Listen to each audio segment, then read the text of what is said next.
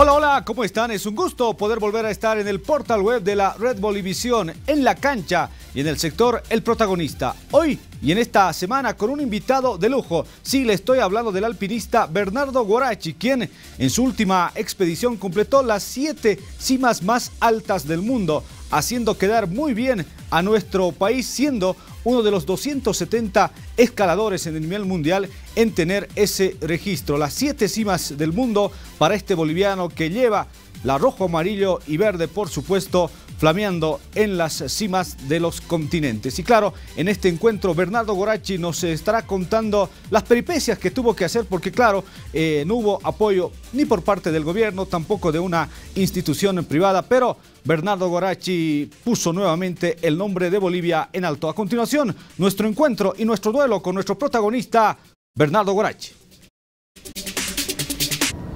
Para nosotros es un gusto tenerlo en la cancha de Bolivisión. Está con nosotros eh, Bernardo Gorachi, después de una expedición magnífica por la Antártica. Y claro, teníamos que tenerlo acá como protagonista en la cancha. Don Bernardo, ¿cómo está? Bienvenido a Bolivisión. Juan, muy gracias. Buenos días, buen día. Bueno, muchas gracias por, por recibirnos. ¿ah? ah, sí, cómo no. Para charlar estoy aquí. Bueno, eh, ¿cómo se ha dado esta linda experiencia que ha tenido y ser el boliviano el único boliviano en realidad de haber escalado las siete cimas del mundo. Sí, es verdad, porque realmente este de siete cimas me ha tomado muchos años.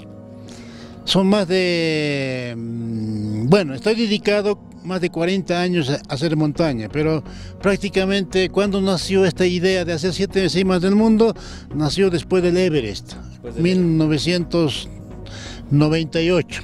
Después de esto ya Después de haber coronado Monte Everest, ya había hecho la Concagua antes de Everest, entonces, ¿qué debería continuar? Entonces decidí tomar estas las siete cimas. Hay otra que se podía tomar también los 14, 8 miles de, Himalaya, pero he preferido porque es más, eh, más atractivo las siete cimas, porque está en cada continente las cimas, ¿no?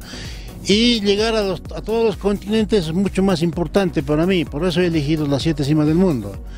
Pero ahora que eh, he, ido recorriendo ah, los más de 20 años, uno y otras montañas, pues último ha sido este del Winson. Dejé al último porque es la más pequeña de todos los picos, pensando que lo voy a lograr sin problema y algo así, pero resulta que al final esto se dio la vuelta y al contrario, pues me resultó mucho más difícil, mucho más complicado en todo. ¿Por qué se hizo tan complicado? Porque este mm, primero cuando hace tres años después del pirámide de Karsten, cuando regresé de allí, pues eh, era el siguiente era el Winson, pero no podía conseguir la plata para pagar porque los costos son muy fuertes en Antártida y por otro lado, no puedes organizarte ni solo ni nada porque sí o sí tienes que comprar cupo de una empresa autorizada, que es norteamericanos. ¿Cuánto le cuesta eh, esa expedición? Mira, eh, por 16 días que yo he tomado este, esta expedición, me ha costado 42 mil dólares he pagado a la empresa norteamericana. Pero aparte tengo otros gastos como mi traslado, el vuelo de La Paz hasta Punta Arena y ida y vuelta, y el equipo que tengo que comprar para Antártida porque me exigen un buen material, buen equipo.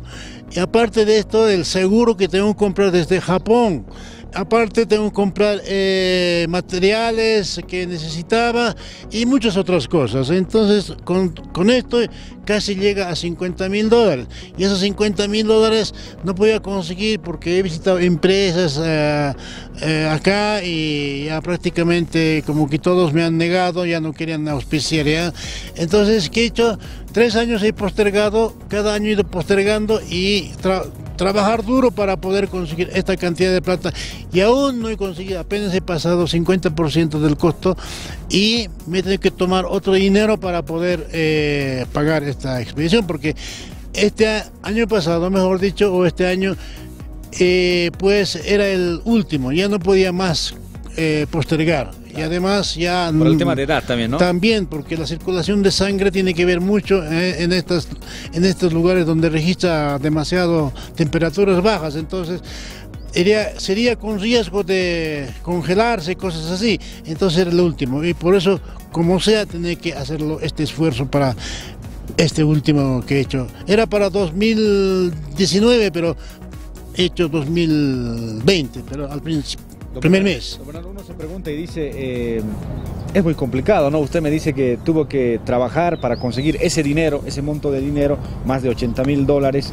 Eh, ¿Usted quiere seguir escalando más cimas en el mundo? Sí, es que ya uno vive de eso.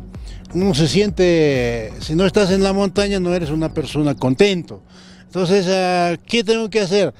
Ir a la montaña, a, subir, no importa acá o afuera, pero eh, primero me solucionaré mi asunto y después voy a seguir trabajando para poder ir a algún lado, ¿no? Pero de que así mm, de suspender o como se dice, ya no escalar más, difícilmente que podría abandonar esto.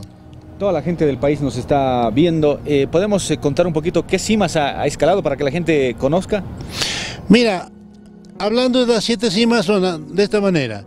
En América las tres Américas, América del Sur, América Central, América del Norte, tenemos al Aconcagua, que está situado en la Argentina. Y yendo ahora hacia Europa, tenemos en el continente europeo Elbrus, que está en Rusia. Vamos ahora a África, está el Kilimanjaro allá, que representa a todos los africanos el este, este hermoso eh, volcán que se llama Kilimanjaro. Tenemos en Asia, que es el monte Everest, que es el más alto del planeta, ¿no? Y este eh, es realmente lo difícil que es para lograr. Y lo tenemos en Asia, este el Everest, lo tenemos eh, en Oceanía, que está el pirámide de Karsten, es la montaña más alta allí, y está en la isla Papúa, Nueva Guinea, muy cerquita a Australia. Y tenemos dos polos, polo norte, que está el Mont McKinley allá, que representa al polo norte, y este último representa, el Vinson representa a la Antártida. Así, los siete, continentes, y los siete continentes. Aparte de esto, no solamente escalado eso, sino cantidad de veces, como por ejemplo el Yimani, y he logrado hacer 195 escaladas a la cima. Año pasado en septiembre, el último. Y aparte de eso, todas las montañas más altas de Latinoamérica, como, como Perú tiene Huascarán, eh, Chile el Ojos del Salado, eh, en Ecuador el Chimborazo, y en Bolivia es nuestra Sajama, que fue mi primera montaña en escalar. Y aparte en los Alpes he escalado muchas montañas, pero son muy chiquititos, pero que también son, son eh, inicios son desde muy bajo. Y finalmente resulta más escalando más alto que acá en la cordillera real. Aparte he hecho en Himalaya no solamente el Everest, el Everest he hecho dos veces. He hecho el eh, Makalu, que está muy vecino al Everest, he hecho Choguyo, que también está en el, cerca del Everest. O sea, todo esto realmente me he dedicado en esos 40 años demasiado puro escalar y escalar montañas, pero trabajando también, ¿no? Porque he trabajado demasiado acá guiando extranjeros y por eso que he subido las 195 veces, porque no hay razón por qué subir cada vez repitiendo, sino mientras vas guiando, sí o sí, tienes que subir al Yimani. Entonces, eso es lo que estoy contando. ¿Qué récord? Ah? ¿Qué récord? ¿Qué, estadística la que tiene? Y viene, lo, lo lleva usted bien registrado. 195 eh, veces nuestro hermoso Illimani. ¿Va a llegar a los 200? Ese era mi propósito, mi, lo que he dicho. Voy a llegar a 200. Cinco más me falta y cumpliré 200, pero a ver, espero este año unos dos más a cero, hasta próximo año ya terminaré siempre los 200 a los 200, llegar a los 200 mejor dicho. ¿Cuál fue el pico más alto y el más complicado? Uno ve y dice el Everest, me parece que, es lo más difícil eh, escalar, pero usted es el entendido en la materia. ¿Cuál fue el pico más, más, más difícil, más duro de llegar? Sin duda es el Everest. ¿Por qué? Porque el Everest toma mucho tiempo, más de tres meses. ¿ya? Aparte de este, el costo, que llega enormemente costoso. Ahora un poco ha bajado precio, no sé por qué, porque ha habido muchos comerciantes ya. ¿Cuánto Pero cuesta escalar el Everest? El Everest me ha costado en ese año, en, 1998, casi cerca 70 mil dólares. Tres meses, me dicen. Tres meses eh, cuesta ya. la expedición y el tiempo. El tiempo. Entonces, aparte de esto, el Everest es el más alto de, todo, de todas las montañas. Aquí ah, ocurre muchas cosas. Acá el clima es realmente insoportable. El clima en cualquier momento le que, y no son cualquier eh, mm, tormentas como aquí conocemos, es allá, es 100, 110, el más, ah, más suave. Y puede, ¿no? O sea, no, la velocidad del viento. Ah, la velocidad del viento y eh, puede llegar hasta 150 kilómetros por hora. Y esto es, eh, no, nadie, no, se puede soportar esto. Y aparte de esto, el glaciar es muy cambiante. Hay, hay un glaciar que se llama el Cumbo, que cada vez está moviéndose y puede caer eh, los bloques, enormes bloques de hielo, las cruzadas, esta parte es realmente difícil. Aparte de esto, hay muchos muertos. Ve uno en la ruta siempre muertos, esqueletos por allí, por acá, y duermes al lado del muerto.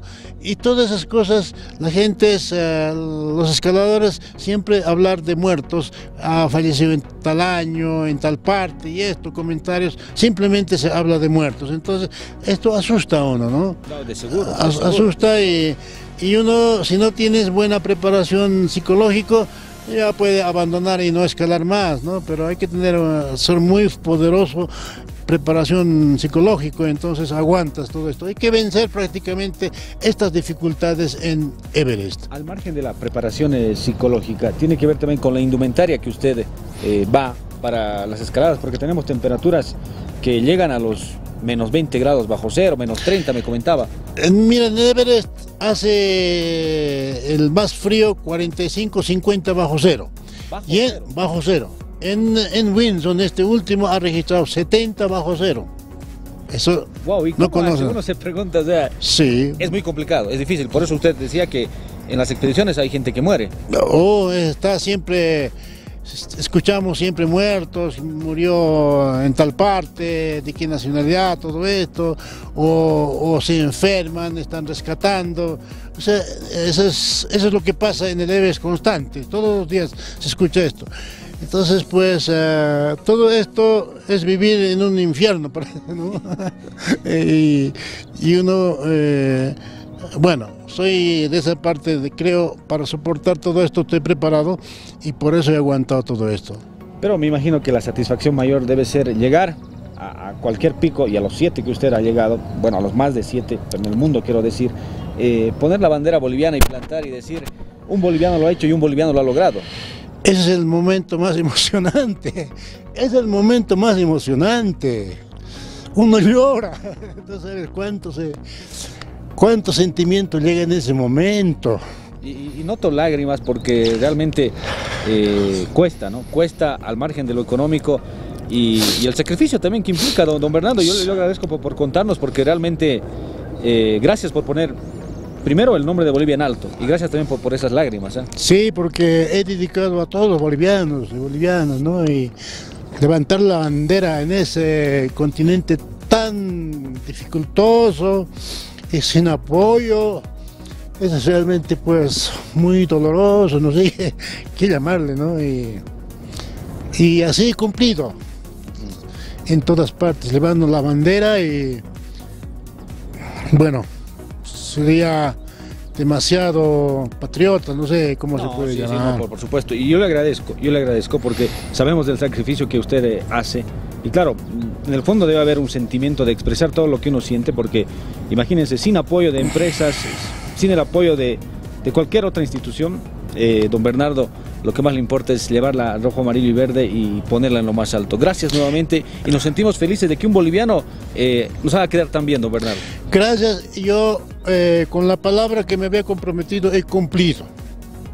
En las siete cimas del mundo, terminado. He cumplido con mi palabra como persona y ahora eh, puedo seguir haciendo, pero ya muy diferente va a ser la cosa, ¿no?